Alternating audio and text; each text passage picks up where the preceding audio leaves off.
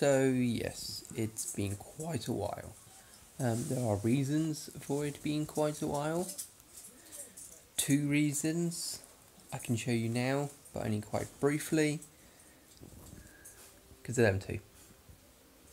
Yeah.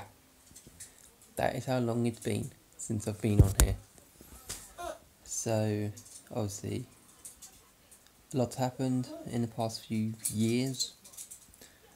Um, I will eventually get to explaining it if it's what you guys want. If you don't, if you're not really that bothered, it's not in a mean way. If you're not really bothered about what's happening, then I won't. Um, but hopefully, I will be continuing.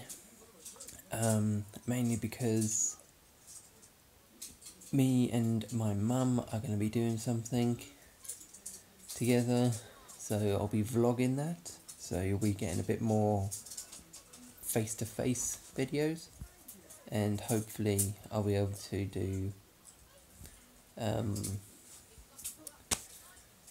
the wolf pack and all the null bits that I explained about three years ago. Hmm. So hopefully I'll be able to do that. But yeah, obviously it's not going to be as fast as it used to be because them two. So yeah, just yeah, bear with me, guys.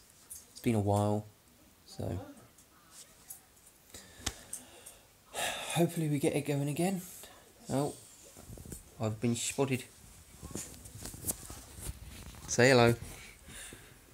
No, okay. Um, but yeah, so I'm I'm being attacked at the moment. So I will hopefully see you guys later in whatever video it is that I decide to do. And we're going to end with Octonauts.